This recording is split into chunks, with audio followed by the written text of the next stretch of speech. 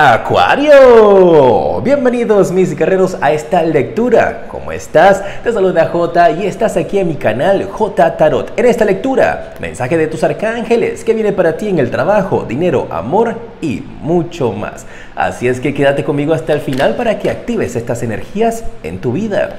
Y el arcángel que te acompaña es el arcángel Gabriel. Una semana en donde vas a tener determinación, Acuario. Una semana en donde vas a tener fuerza, pasión, en, en donde tu corazón va a estar latiendo más fuerte que nunca. Una semana también en donde, uy, acabo de escuchar, tu palabra es ley. Lo que tú digas, las personas que están a tu alrededor van a decir así mismo, así es, así se va a hacer vas a tener también esa fuerza, esa determinación para decretar, para manifestar en tu vida algo muy importante.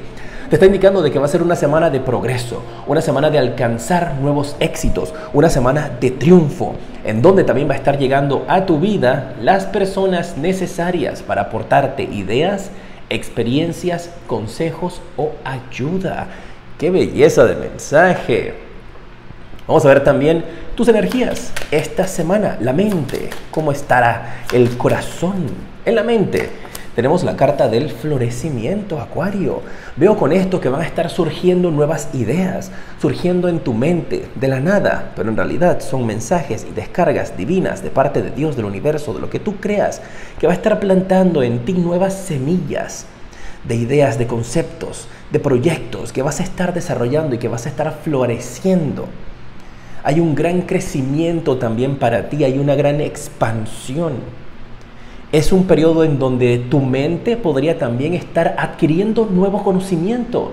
Eso es lo que me están indicando tus guías, una semana de aprender. Ya sea por algo que tú quieres aprender por ti misma, por ti mismo, o porque asistes a algún tipo de clase, entrenamiento, curso.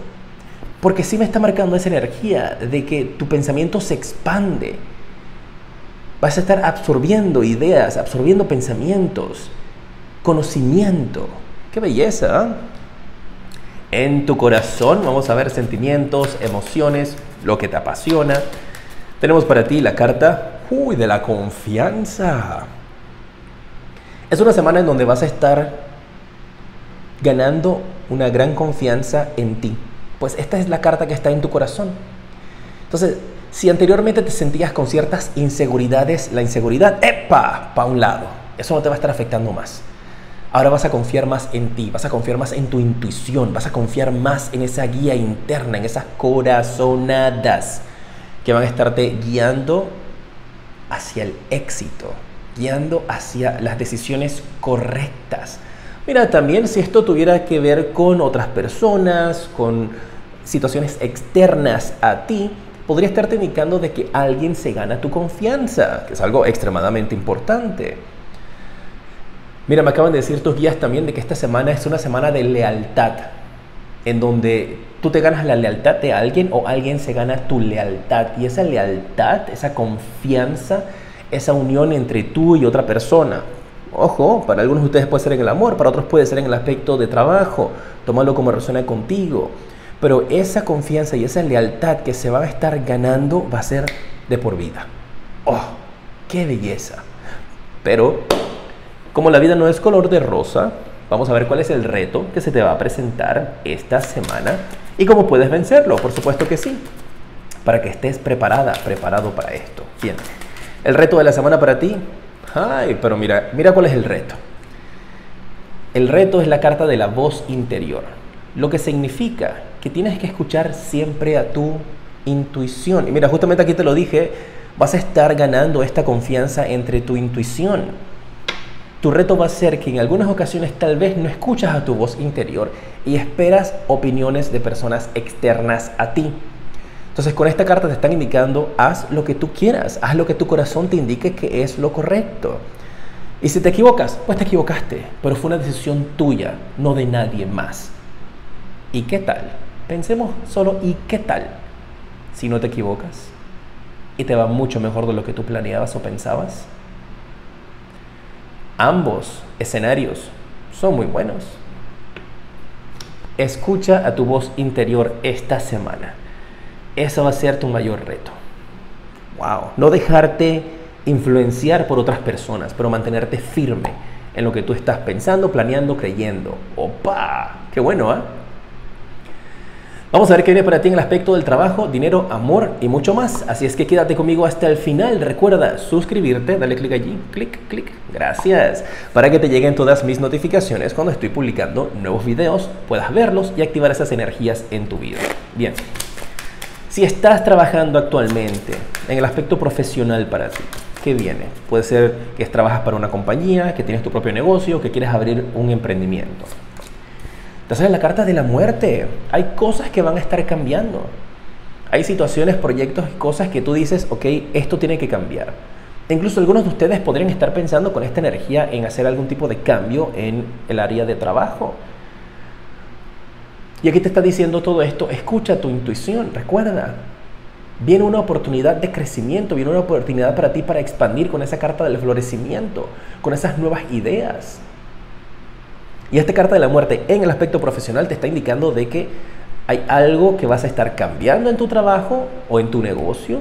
Pueden estarte hablando también de cambios en cuanto a posiciones, cambios radicales que podrías estar experimentando en el trabajo ahora o más adelante. Pero todos estos cambios son para bien. Hay algo que termina en el aspecto laboral pero esto que termina en el aspecto laboral te va a permitir expandir, te va a permitir abrir tus alas, te va a permitir soñar. Déjame sacarte una carta más, por si acaso, ¿no? Porque, ay, la carta de la muerte. No, no te preocupes. Recuerda que yo canalizo mensajes para ti. Esto es lo que estoy interpretando, de parte de tus guías, de parte de Dios, de parte del universo para tu vida. Mira eso. Tienes la carta del dos de bastos. ¿Ves esa expansión? Esta persona, esta carta tiene el mundo en sus manos. Entonces, esto que termina te va a permitir a ti emprender nuevos caminos, conquistar el mundo, viajar. Y no tiene que ser nada dramático, puede ser un, cambio en la posición que tienes actualmente en el trabajo, en donde ahora viene una posición en donde te va a permitir viajar. ¿Ves? Algunos de ustedes también podrían estar viajando por razones de trabajo y esa energía se va a estar activando para ti. Qué bueno. Si estás buscando trabajo, opa, mira, qué belleza, qué belleza, qué belleza. Tienes la carta del 9 de copas. Sueños que se hacen realidad. Y tú puedes tener un trabajo y estar buscando trabajo. Sueños que se hacen realidad para quienes están buscando trabajo. Algo que has estado esperando una llamada de un lugar en particular que has estado esperando, y no importa tu edad, ¿ah? no importa la edad, para algunos de ustedes incluso, si esta carta de la muerte lo que está significando es que termina una etapa laboral, porque por ejemplo te jubilas, ahora vas a poder vivir el sueño de conocer el mundo, de viajar, se te va a brindar esa oportunidad, ¿sabes? Esta carta, 9 de copas, para quienes buscan trabajo, te van a llegar una oportunidad que tú has deseado, que tú has estado esperando. La vas a poder palpar, va a estar aquí en tus manos, la vas a poder sentir. Sueños que se hacen realidad, es increíble, es una tremenda carta para ti. Y la canalización que veo es algo que has estado esperando desde hace mucho tiempo, que tú estabas como que de aquí no me muevo. Oh, me acaban de colocar una imagen de una persona que llega a un lugar como para una entrevista de trabajo y dice, ah, la entrevista, ay no, la entrevista es más tarde, no es ahorita, y tú llegas desde las 9 de la mañana y la entrevista es a las 3 de la tarde y tú dices, pues de aquí no me muevo, voy a ser la primera persona que entrevistan, aquí me voy a quedar sentada, sentado. Hay algo de eso para algunos de ustedes, ¿ah? Pero está muy bien, prepárate a recibir nuevas oportunidades de trabajo, que te van a abrir nuevos caminos. Bien. Recuerda, si quieres una consulta privada conmigo, visita mi página web jtarot7.com, está en la descripción, ahí puedes ver las diferentes consultas que tengo disponibles, privadas. Si no, ahí vuelvo a intentarlo, ¿ah? porque a veces no están disponibles o a veces simplemente pues estoy recargando energías. Vamos a ver las finanzas. Esta semana para ti el aspecto financiero que te trae. La carta del emperador. Con esto Apenas vi esta carta, en mi mente colocaron la palabra negociaciones. Va a ser una semana que en el aspecto financiero van a haber bastantes negociaciones. Puede ser que estés negociando un salario, puede ser que si tú tienes un proyecto y estás vendiendo tu proyecto o estás brindando algún tipo de asesoría, van a haber cotizaciones y estás en negociación. Es lo que escucho para ti. Una semana de negociar. Puede también estarte indicando que tú quieres comprar algo y esto parece ser una compra de algo grande y vas a tener la disponibilidad financiera de poder hacerlo, o por lo menos el crédito bancario para poderlo hacer. Pero sí veo que es una semana, sabes, de trámites, una semana de negociaciones, una semana de tratar de conseguir el mejor precio. Si tal vez tú por medio del trabajo negocias productos, precios, compras, podrías estar manejando, maneja las cuentas por cobrar, pagar, podrías estar manejando, sabes, ese, ese tipo de, información. Pero es una carta de una energía que me indica de que las cosas se ven favorables para ti. Con esta carta y con esta energía veo que las negociaciones van a salir a tu favor. Puede que estés negociando salario, de una nueva posición, comisiones, viajes, beneficios.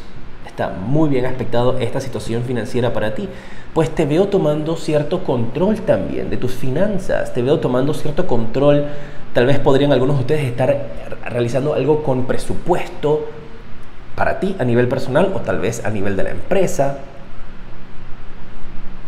Y siento que esto te va a llevar a poder tener como más, más control de tu situación financiera que te va a abrir grandes caminos. Qué belleza esa energía. Wow, me mantienes al tanto de cómo se dan las cosas en los comentarios, igualmente en mis redes sociales, arroba jtarot7. ¿eh? En el aspecto de crecimiento personal o amor, vamos a ver. Y recuerda que el amor no es de pareja solamente, ¿eh? el amor es contigo misma, contigo mismo, con tus familiares, con tus amistades. Bien. Esta es la carta que quiero hablarte. Aquí, aquí, aquí. Vamos a ver cuál es el mensaje. La carta de la reina de espadas. Mira, aquí podrían estarte pidiendo ayuda.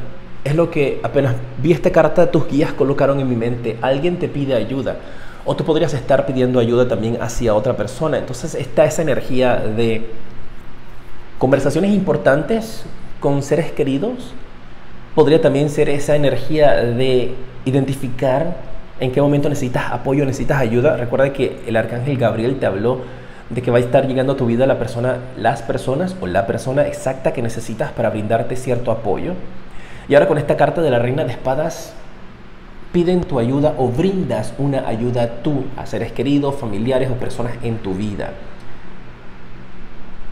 Veo también cierta energía de conversaciones. Y fíjate cómo está esta emperadora, está la reina de espadas. Para algunos de ustedes esto podría ser una conversación importante con figuras paternas. Dije figuras paternas, ¿ah? que pueden ser padres o madres, pueden ser abuelos, o pueden ser tíos, o pueden ser amistades que tú consideras o quieres como si fueran figuras paternas, padres o madres, o como tú lo, lo definas, ¿sabes? Aquí hay una conversación con personas importantes para ti. Acabo de escuchar padrinos a escuchar padrinos.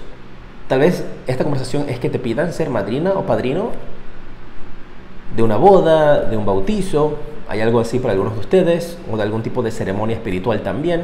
Mira, yo te paso el mensaje.